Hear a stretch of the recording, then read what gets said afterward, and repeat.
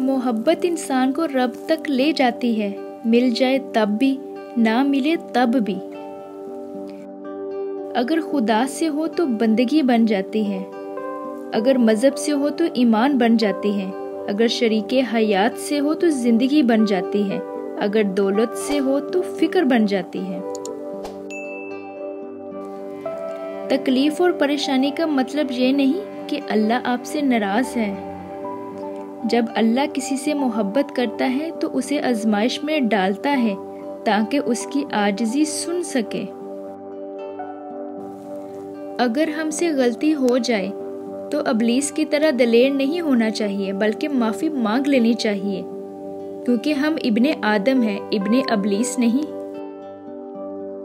अल्लाह इम्तहान लेता है, ताकि साबिर रहो। आजमाइश में डालता है, ताकि उसका शुक्रगुजार रहो। रुलाता है ताकि साफ़ दिल रहो, चुप भी करवाता है ताकि उस पर यकीन रखो। हमारे मामला हमारे इख्तियार में नहीं होते, मगर इत्मीनान रखिए कि जिसके इख्तियार में है, वो बड़ा रहीम और करीम है। इंसान कितना ही गुनागार क्यों ना हो, अल्लाह ताला उसके लिए दुआ और रिजक का दरवाज़ा कभी बंद नहीं करता। जब तुम्हें अगली नमाज़ का इंतज़ार हो तो समझ लेना अल्लाह ताला ने तुम्हारी पहली नमाज़ कबूल कर ली है। मुझे रोज़ ये अल्फाज हिम्मत देते हैं कि ए मेरे बंदे, तू घबरा मत, मैं तेरे साथ हूँ। जब तकदीर पर शिकवा होने लगे, ये बात याद कर लेनी चाहिए कि शैतान का पहला वार ये है कि इसके बाद आपको मायूसियों के अंधेरे में बहुत सहूलत के साथ ले जाएगा। इसलिए कि किस्मत से शिकवा ना करें और उम्मीद का दामन हाथ से कभी ना छोड़ें। और अल्लाह ताला की ज़ात पर कामिल यकीन रखें, वो चाहे तो सब कर सकता है।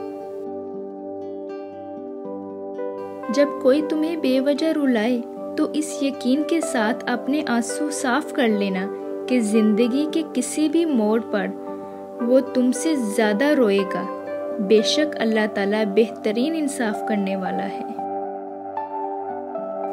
किसी इंसान को खाना खिलाकर ये मत सोचें कि हमने उसको खाना खिलाया या कोई हमारा खाना खा गया, बल्कि ये सोचें कि ये रिजक हमें शायद इस इंसान के नसीब से ही मिला हो। हमारी क्या औकात है कि हम किसी को कुछ दे सकें? ये तो अल्लाह ताला की ही रहमत है, जो हमारी इज़्ज़त बनाए हुए है। माफ़ करके आगे निकल जाएँ। उन सब लोगों को जिन्होंने दिल दुखाया हो, तोहमत लगाई हो, बुरा भला कहा हो आपके लिए गलत बात कही हो और आपको परेशान किया हो। यकीन जानिए, आपका रब कुछ नहीं भूलता। जब वो हिसाब बराबर करता है तो ना इंसाफी नहीं करता। ए मेरे अल्लाह, ज़्यादा दे चाहे थोड़ा दे, लेकिन इसमें इतनी बरकत डाल दे कि किसी के आगे जोली ना फैलानी पड़े। इसी में सुकून अता कर दे बेशक तू बड़ा गफूर और रहीम है। हमारी दुआओं को कबूल फरमा। आमीन।